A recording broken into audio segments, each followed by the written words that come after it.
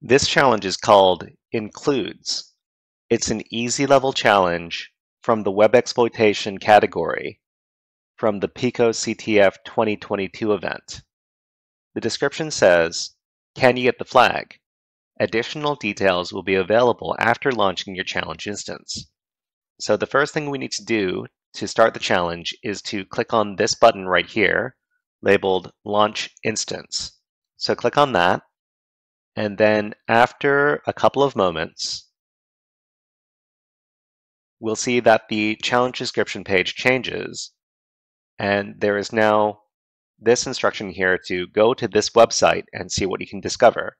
So this website is a link. So we can right click on it and select open link in new tab and then click on the new tab to access the website.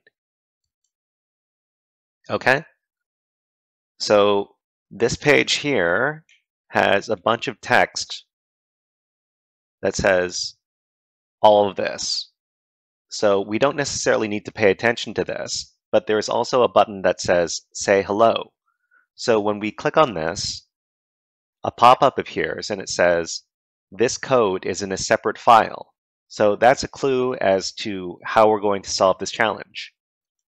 So another thing we can do when we arrive at a new web app is we can look at the HTTP source for these web pages.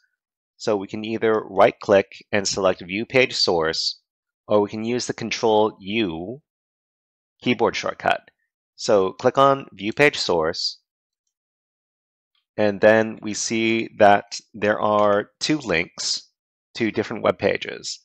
So there's one link over here to style.css, and there's another link to script.js. So what we can do here is we can right click on style.css and open this in a new tab. And we can also click on script.js and put that in a new tab. And then we can click on the new tabs. So the first one is style.css. And inside of here, there's a comment which has the first part of the flag. So it says PicoCTF, so we need to highlight this and copy it.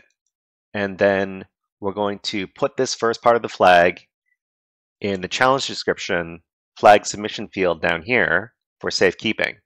So we're going to paste it in here. And then we're going to go to the second file, which is script.js.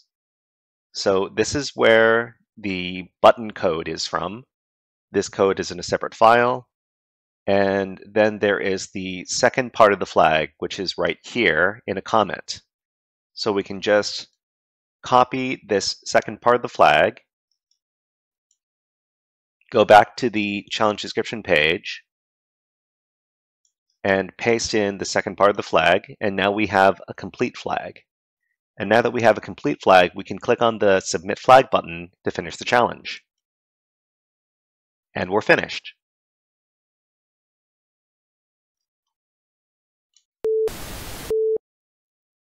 Hey there, HackerFrogs!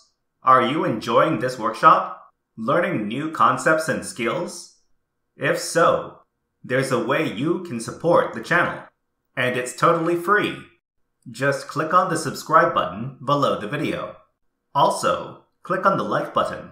And if you have questions or comments on this workshop, please leave them below the video. Thanks for listening. And now, back to our scheduled programming.